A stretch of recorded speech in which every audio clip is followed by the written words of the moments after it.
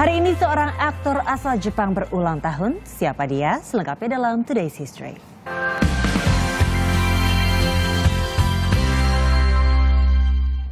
Takeshi Kaneshiro lahir di Ya, seorang aktor asal Jepang lahir di Taipei, Taiwan pada 11 Oktober 1973. Ia adalah aktor sekaligus penyanyi berdarah Jepang dan Taiwan.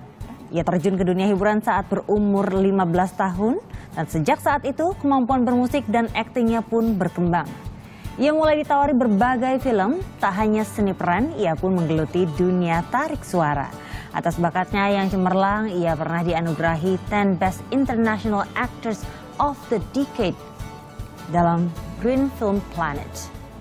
Nah kalau misalnya berbicara Takeshi Kaneshiro, wah dia sangat tampan sekali. Jadi dia salah satu aktor yang dianggap sangat tampan Bisa ya dan nyanyi, dia bisa bisa bernyanyi juga, multi talented dan Yes. film-filmnya dia itu sebenarnya film-film yang membahana memang maksudnya yang memang um, bagus sekali dan besar gitu. Seperti salah satunya dia menjadi seorang cendekiawan dalam film Radcliffe atau The Flying Dagger dan juga film-film lainnya seperti itu. Dan kalau misalnya bisa dilihat foto-fotonya ya tadi itu memang tampilan wajahnya itu menarik Auranya ya. sebenarnya gitu Auranya ya. benar. Tapi ada yang nggak kalah menarik nih kalau berbicara tentang aura-aura itu.